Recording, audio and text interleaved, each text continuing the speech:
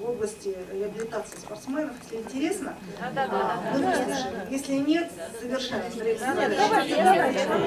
Слушаем. Христофорова Дарья, город Москва. Здравствуйте, уважаемые коллеги. Я сегодня у меня дебют. Ам, Я сильно долго задерживать не буду. Сколько?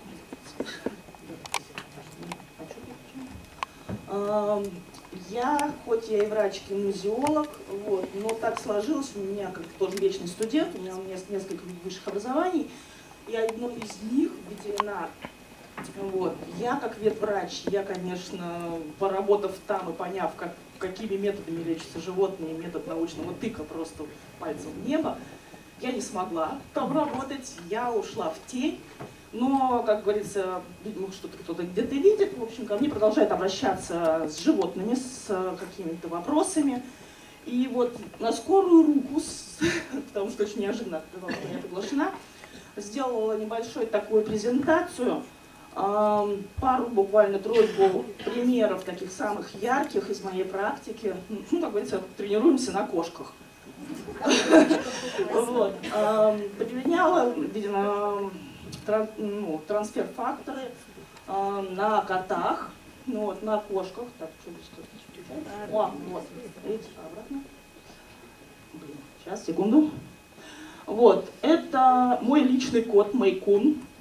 А, Ему на тот момент было три года. У, не- у меня их двое братья. Братья не всегда ладят, как известно. А, Случилась драка. Ну, так, ма- помахались немножко когтями. И вот ему прилетело. А, Был поврежден глаз когтем брата. А, Буквально за несколько часов а, у него поднялась температура, у него заплыл глаз, отек пошел на щеку. Когда я ушла, ну, я, честно говоря, не- как обычно, да, самый последний, кто замечает, что кто-то болен среди семьи, это врач. Вот. Я, я ну, как-то сочла, что это не так страшно, потому что это уже не первый раз было, но когда вернулся через пару, ле- пару часов, он уже лежал, температура фигачила, и у него уже начала отекать, глаз полностью закрылся, а, по- пошел отек на щеку. Что делать? Дочка мне сказала, мам, у нас есть трансфер-фактор трай, давайте попробуем. И вот мы ему по-быстрому, чтобы не, не ждать каких-то клиник, ветеринарных врачей, я ему просто разбавила первую капсулу, скрутили, глаз открыли и закапали. Вот, он, конечно, немножко не понял, что с ним происходит, но ничего. Эм, Потом, а, вот как раз тоже посоветовавшись с Мариной и с Аллой, в общем, а, мы так обсудили, и я так приблизительно зная его вес, ну, на вес вообще на самом деле я не очень ориентируюсь в животных, это я больше ориентируюсь на состояние и вообще масштабность, как бы, без лица.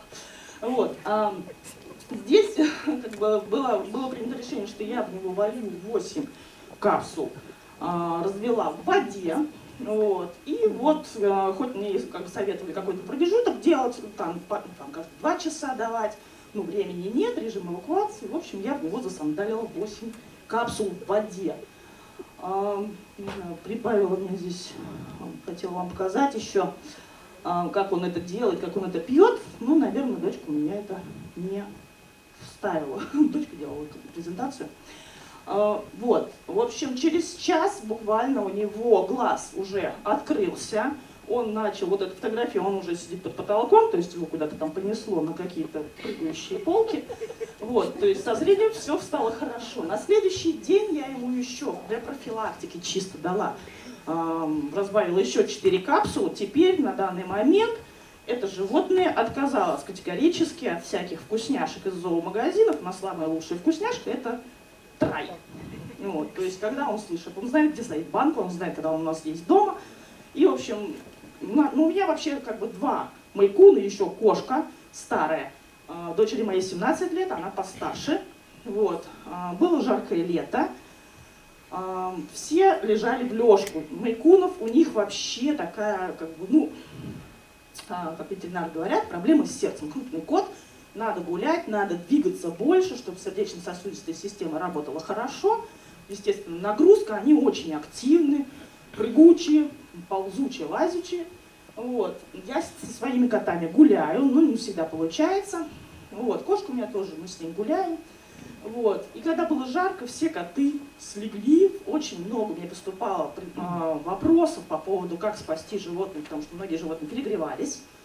И я реш... ну, приняла решение, у меня всегда есть трай, ну, у меня всегда трансферы живут уже дома порядка двух лет, я как два года назад с ними познакомилась. И вот мы приняли с дочерью решение, опять-таки, попробовать тренироваться кардио, применить и на котах. Вот, а, поэтому сейчас я могу смело сказать, что до этого применялся трай классик на животных. Я могу подтвердить, что кардио тоже нормально заходит. Вот. Единственное, что кардио было немножко проблематично засовывать, потому что оно горькое. То есть, когда ты капсулу разводишь, или, если трай, они готовы пить сами, жрать эти вот эти вот кусать сами, жевать вот эти вот капсулы, вот, то кардио они как-то не, не очень. Как применять? Берете кусочек мяса, выводим, высыпаете в него капсулу или фарш и засандаливаете, потом даете закусить чем-то нормальным чистым мясом. Вот, тоже заходит нормально. Кошка, которая старше 17 лет, повторюсь, ожила.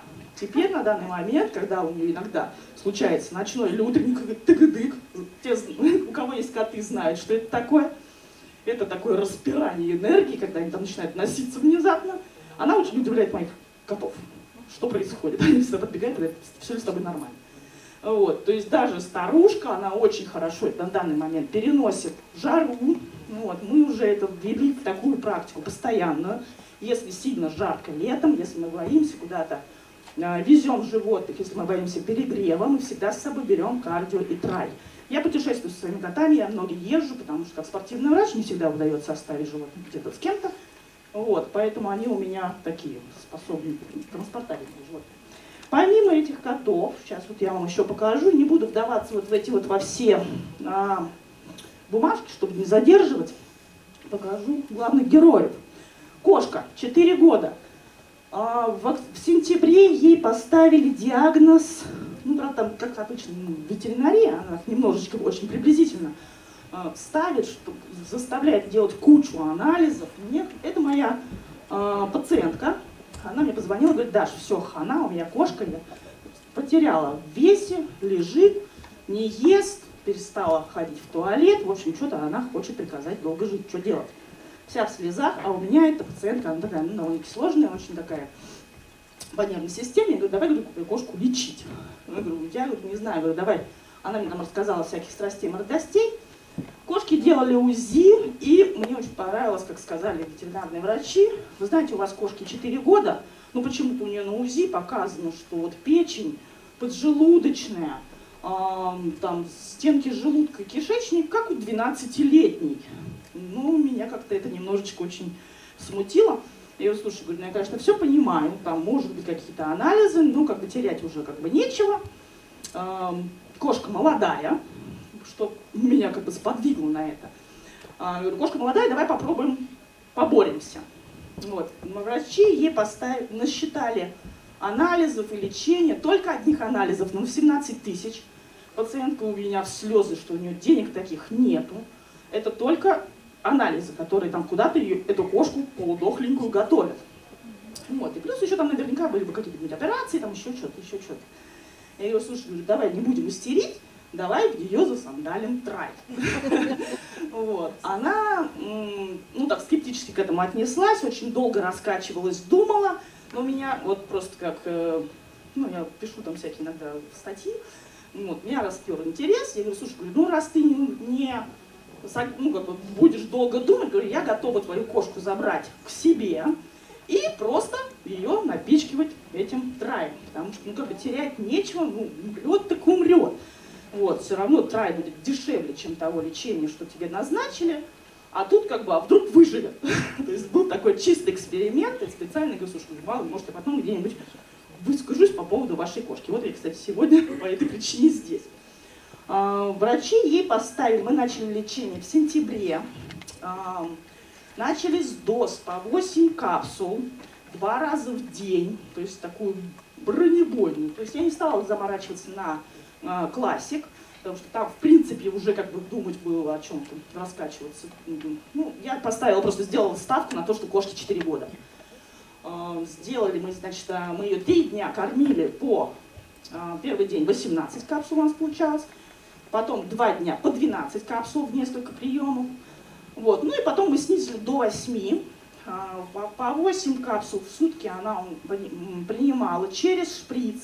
Кошка не ела, лежала, в туалет практически не ходила, ни, ни о каких прыжках куда-то речи не шло, то есть лежала где-то там на полу.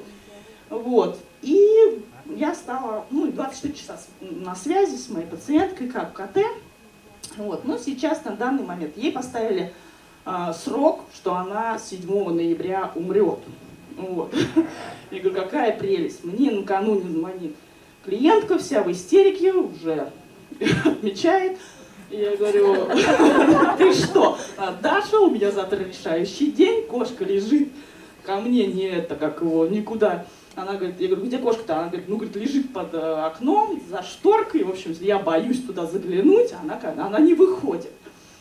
Вот, я говорю, она, ну что, говорит, тогда, говорю, ну накати побольше, как бы, ну, посмотрим, выйдет, не выйдет. В итоге э, кошка была, видимо, тоже шокирована, что там кто-то что-то происходит, потому что клиентка не пьет. Вот. Э, утром она мне позвонила, сказала, кошка пришла ко мне сама. То есть утром она запрыгнула, даже у меня появились даже силы запрыгнуть на кровать и прийти к хозяйке. У меня даже где-то была фотография, что они там обнимаются, что вообще она там чуть не плачет, что кошке даже нашлось силы прыгнуть. Сейчас на данный момент мы снизили дозу эм, до 4 капсул на постоянку. Вот, ну, то есть, как, ну, вы сами понимаете, да, она пережила этот 7 ноября. вот. В общем, как бы продолжаем. Конечно, там а, хозяйка уже тоже нервничает, что драйв все-таки тоже ну, не дешевое удовольствие как бы для ее бюджета. Но мы сейчас на минимальных дозах. Вот. Что могу сказать по состоянию кошки? она наконец-то стала нормально есть, она, у нее возобновилось как бы, желание там, нормально ходить в туалет, она даже иногда пытается играть, ну там что-то, какие-то телодвижения. Конечно, ей о какой-то большей активности сейчас пока становится похуже, но она стала употреблять э, сама лакать э, бульончик, она стала уже сейчас на данный момент есть даже вареную курочку самостоятельно. То есть мы уже питаемся не через шприц, и даже иногда хрустит сухим кормом. Ну, вот, то есть, как бы, ну, смерть отменяется, я понимаю. Вот. А? Да, вот. А, это вот таких вот два самых ярких случая. Сейчас у меня, еще закончится пока -то.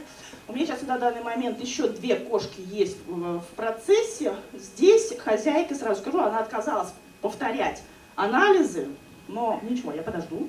Вот, сейчас кошка наберет вес, и мы все-таки ее загоню, чтобы она сделала еще раз анализы, потому что вот эти вот исходные данные у меня, поэтому я на них особо не акцентируюсь, потом, когда будет с чем сравнить, я вам еще, может, покажу. Вот. И еще две кошки, у меня сейчас тоже наблюдение, у одной там беда с... Им тоже по 14 лет, у меня что-то по, по какому-то это, по-старому пошли кошкам. Вот. У одной проблемы по женской части, как обычно, ей предлагали удалить матку, ну, как бы, я вот, столкнувшись с трансферами, хозяйка сказала, что ничего резать не будем, будем кормить. Вот. А, а сейчас те кошки две принимают, вот вчера было две недели, как они принимают по две капсулы в день.